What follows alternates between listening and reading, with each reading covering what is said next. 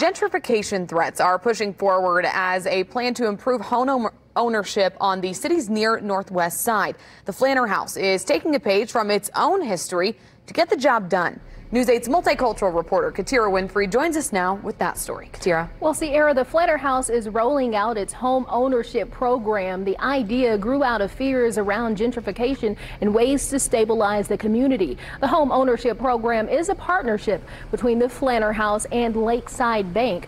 Flanner House representatives say historically access to home loans have been hard for black people, and in some cases that's still true today. Lakeside, recognizing that, stepped up to provide support. Here's how the program works. Flanner House uses its funds to buy and renovate abandoned and blighted homes, eventually allowing homeowner hopefuls to apply for the home loans to buy them under the appraised value.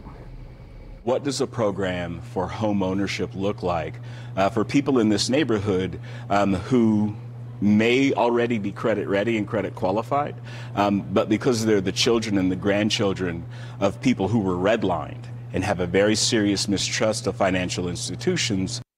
And Cosby says this is a great first step, but the organization is looking for more businesses and more people to feed into its fund, ultimately allowing them to buy more properties outright, creating space for more construction and renovation at a time.